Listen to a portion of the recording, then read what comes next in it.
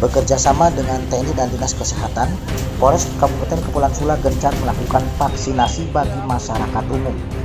Hal tersebut menurut Kapolres Kepulauan Sula, AKBP Heri Purwanto untuk mengejar target pencapaian 70% hingga akhir tahun 2021. Perwira dengan dua melati emas di pundaknya tersebut mengimbau masyarakat di Kabupaten Kepulauan Sula dan Tali Abu agar segera mendatangi sentra pelayanan vaksin terdekat seperti di depan Mapolres.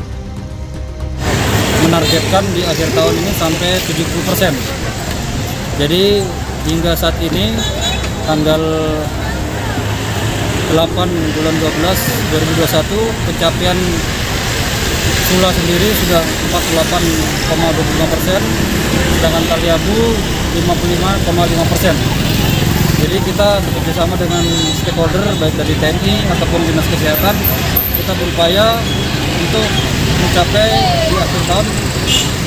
Capaiannya mencapai 70 persen apa yang ditargetkan oleh Bapak Presiden Republik Indonesia.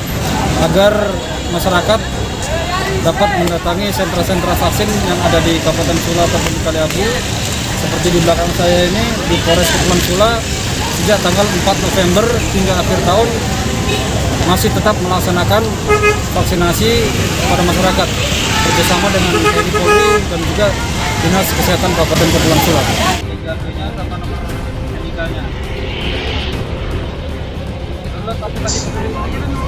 Dari Kepulauan Sula, Fatroni Alfian dan Dinur Suamole Berita 5 mengabarkan.